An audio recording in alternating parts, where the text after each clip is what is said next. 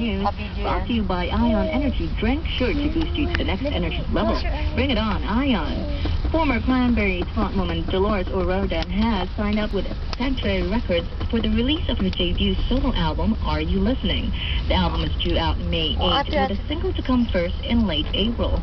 O'Riordan will tour in support of the record this spring and summer.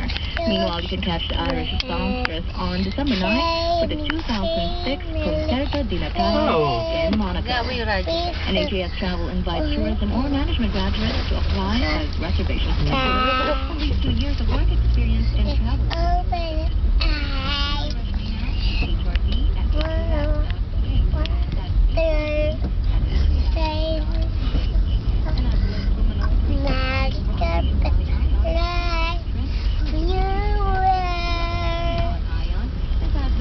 master, one of you. That was